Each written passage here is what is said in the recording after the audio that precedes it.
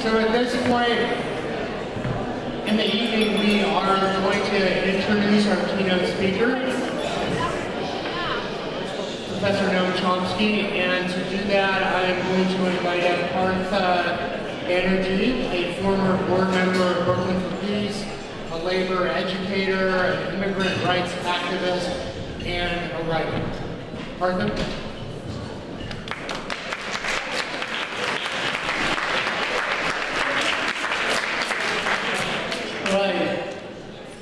Chance of a lifetime. Good evening, brothers and sisters. I'd like to take you, thank you for attending and thank Brooklyn for Peace, a torchbearer movement, for hosting this electrifying event.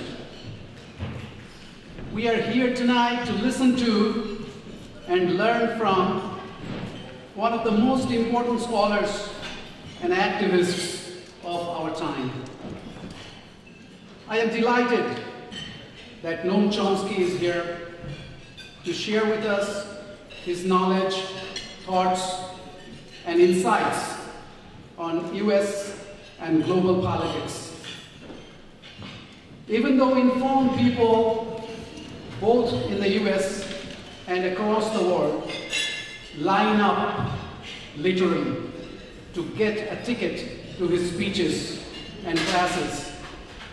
Our two big political parties and their corporate media and their Wall Street and their war establishments keep excluding him from their discussions and narratives. Well, except for the September 15th letter on Obama and ISIS that came out in the New York Times. This behavior symbolizes what I often call journalism of exclusion or politics of exclusion. If you can't face the truth, you simply exclude the face of truth from any conversations and then call the discussion mainstream. Even George Orwell would cringe. I first met Noam Chomsky when I was a graduate student at the journalism school at Columbia University. Columbia Journalism School, as you know, is one of the leading institutions that incubate journalists for corporate media. When I invited him to speak there, there was a lot of resistance from within the establishment.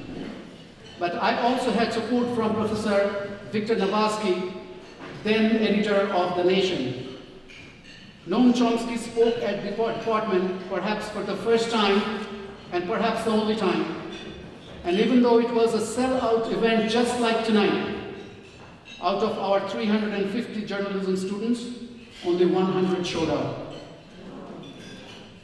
So that was my first wake-up call because as a first generation immigrant from Calcutta, the open city of poet Rabindranath Tagore, I had grown a different idea that American academia was all about challenging, questioning, and critical thinking. That utopia shattered to pieces. And after 14 years of keeping in touch with Noam, going through some of his vast literature and lectures, I am not convinced that the experience at Columbia was not out of line. I realized that is the mindset of a vast number of the American people. People who just handed the war and prison industries and global profiteers and polluters, union busters and immigrant slave drivers a landslide victory. Yet, in the midst of this gloom and hopelessness, I also saw at least four life-changing people's movements in the United States that I was privileged to be involved with.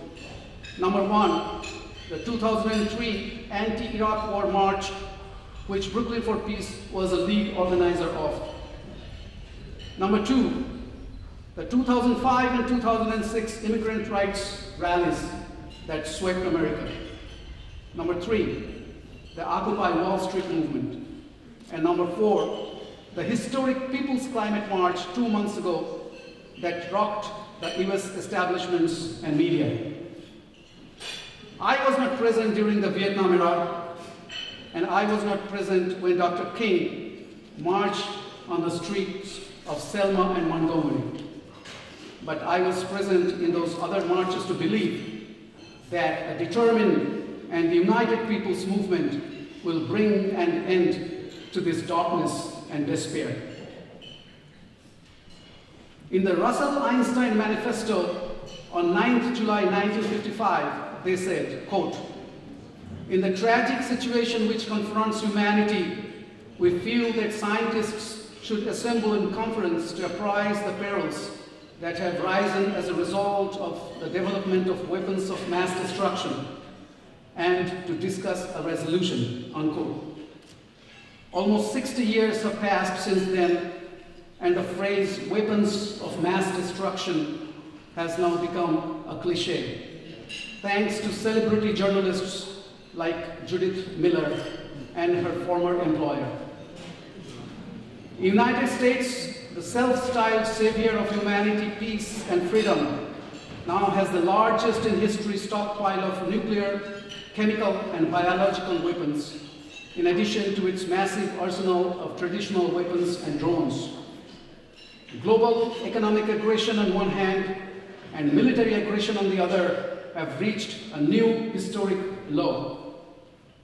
Human civilization is crying out in pain because of the power's economic and war policies, policies that make the share of wealth owned by the top 0.1% the same as that owned by the bottom 90%. This is America, and this is the American dream. Is there any way we can find a way through this mind-boggling mess? Can we find a language to fight back for ourselves, the 99%, getting out of the left-right, liberal, conservative, Republican, Democratic box?